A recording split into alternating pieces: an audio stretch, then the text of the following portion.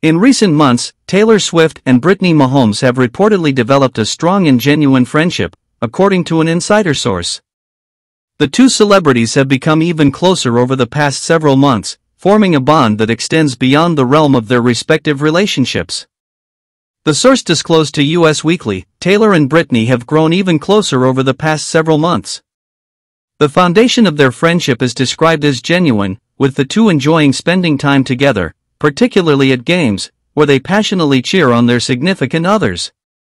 Brittany Mahomes, who is married to NFL star Patrick Mahomes, reportedly appreciates Taylor's support for her relationship with Travis Kelce.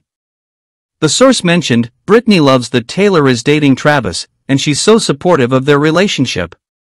The camaraderie between Taylor and Brittany goes beyond shared romantic connections, as they are said to have a similar sense of humor, frequently exchanging jokes and laughter.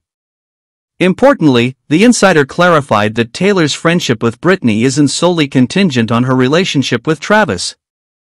Even if circumstances were to change in the future, Taylor reportedly values her connection with Brittany and believes their friendship would endure. Their friendship blossomed when Taylor and Brittany started hanging out together at Kansas City Chiefs games in September 2023.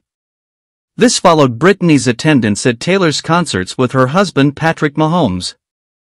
As time passed, Taylor not only grew closer to Brittany but also formed connections with other NFL star wives and girlfriends, reveling in her newfound friendships.